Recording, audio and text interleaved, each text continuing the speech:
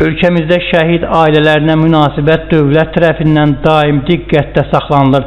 Lakin bəzi vəzifə səlahiyyətliləri şəhid ailəsinə də yuxarıdan aşağıya baxma prinsipi ilə hərəkət edirlər.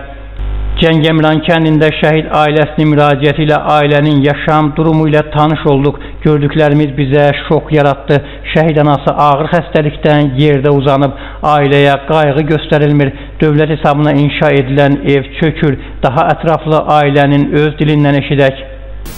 İndi onkoloji xəstədir. Kömək yoxdur. Köməklik yoxdur indi. Neçə il yataq xəstəsi? Başda bir ildir yorğandadır. Heç bir şey ə, köməklik olmayıb. İcra başdan kömək gələrdi. Xəstənin abanında basılmaz edirsiniz. Eləmişəm, heç bir xeyri yoxdur. Özümdə neçə ildir, 44 yaşım var, 5 il müharibədə olmuşam. Neçə dəfələrlə də getmişəm, mənə indiyə kimi iş verilməyib. Bir iş yoxdur, iş yoxdur, yoxdur. Lənkəran şəhərində öz, o qanı bizə saz bu. Özü aparmışam, iki, iki dəfə qan vurdurmuşam ona. Başda 200-300 manat pul çıxıb. Dedi, de, dediyimiz söz çoxdur. Biz bilmirəm, bunlar heç bir amal olunmayacaq. Yox, yəni siz ə, bütün problemlərinizi tam olaraq qeyd edin ki, bildirin bizə. Biz yəni bunun üçün gəlmişik sizin mənzilinizdəyik. Buyurun. Nə dərdiniz var, nə sizi narahat et? Buyurun, buyurun. bir iş verin ki, sabah ana olmayandan sonra heç olmazsa öz ailəsini saxlaya bilsin. Bu 80 manatdan ötürü ailə saxlamaq olur. Yoxdur, gözü, iş yoxdur. Siz özünüz yəni pensiya alırsınız.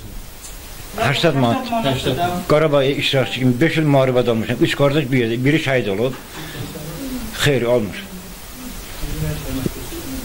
Bu yarım aklət burada bir kitabxanada da şəhidin adındadır, qaynımın adına. Orada 70 manat pul alır.